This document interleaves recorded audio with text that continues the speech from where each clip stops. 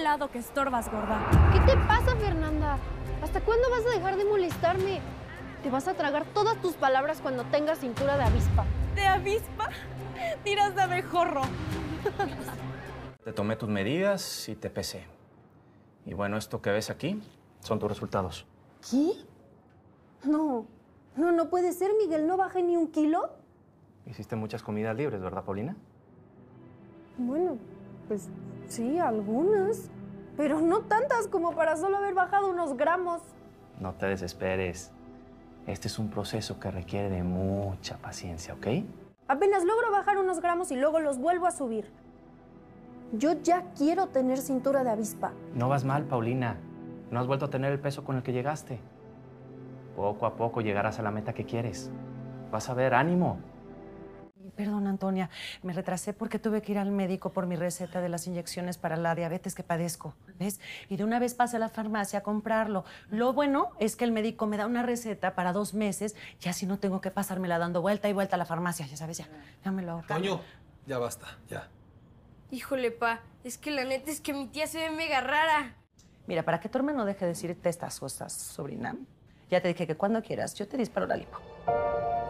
Ay, no, no, no, Vanessa, no me gusta que le digas esas cosas a mi hija. Ay, no te escandalices, Antonia. Se lo digo de cariño a Paulina. Además, no tiene nada de malo que las mujeres echemos mano de los tratamientos estéticos para tener la apariencia que deseamos y darle gusto a nuestros esposos, por ejemplo, ¿no? Los reto a que se graben poniéndose las inyecciones y veamos en cuánto tiempo logran bajar de peso. Les aseguro que no se arrepentirán como yo no lo estoy.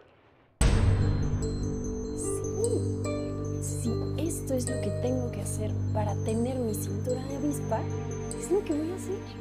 Si no puedo conseguir el medicamento porque es controlado y además puesto en la nota. Tú misma has visto cómo se pone mi mamá cuando hablamos de esas cosas. No me va a dar ni un centavo para que lo compre. ¿Y para qué eres mi sobrina favorita? ¿Eh? Si no es para apoyarte en hacerte feliz. ¿Cómo? No entiendo. Mm, que ese medicamento es precisamente el mismo que a mí me receta el médico para mi diabetes. Así que yo misma te lo voy a proporcionar. Ahora sí voy a tener cintura de avispa.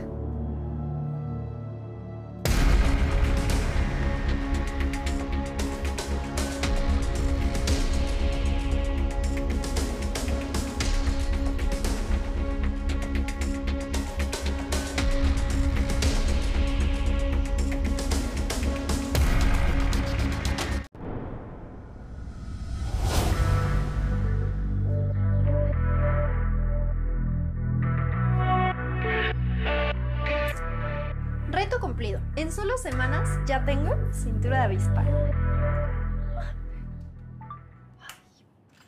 Voy a subir este click lock para que todos se queden con la boca abierta.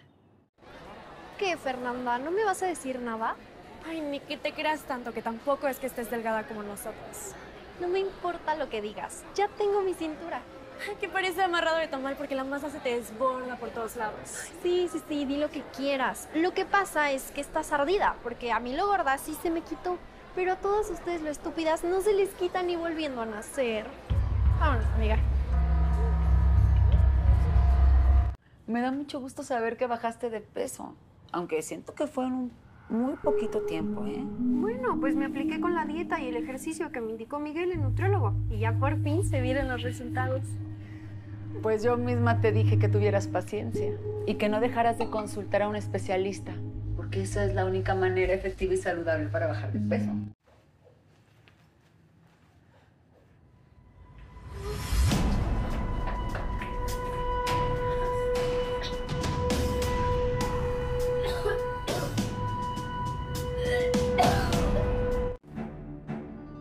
No estarás vomitando a propósito, ¿verdad?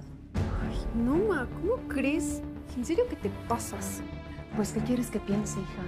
Si en las últimas semanas has estado comiendo menos y devolviendo el estómago.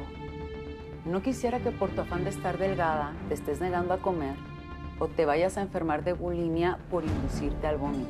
No, nada que ver, ma, te lo juro.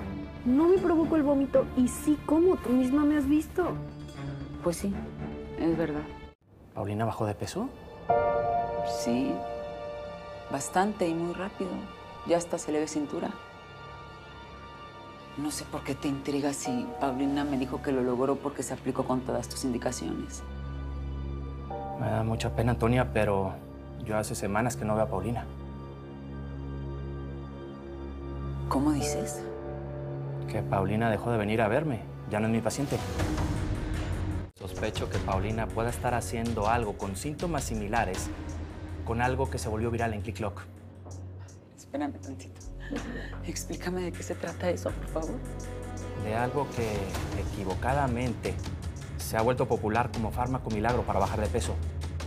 Y es el suministro de una sustancia que se receta para la diabetes. Paulina, dime si te estás inyectando el medicamento para la diabetes para adelgazar. Ma, yo... Te exijo que me digas la verdad. Es algo muy peligroso que te...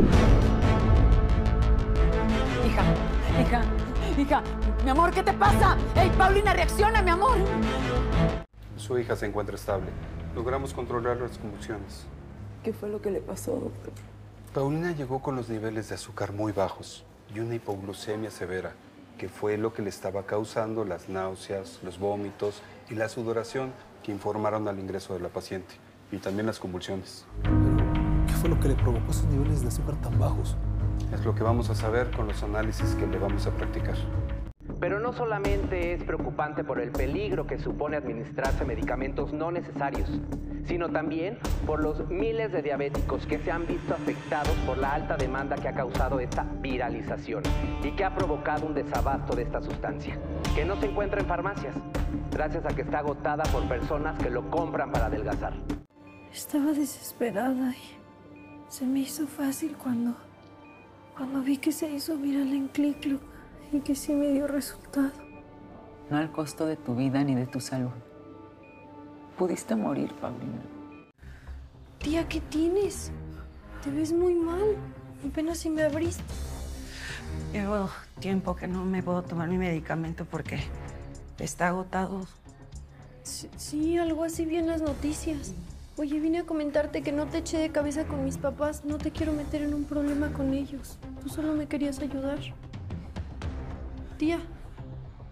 Tía, ¿qué tienes? Tía. Tía, despierta.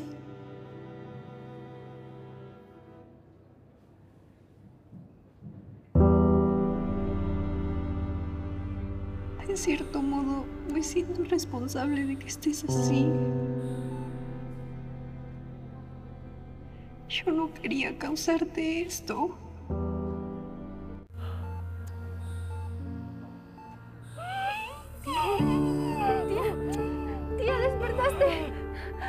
Tía, tía,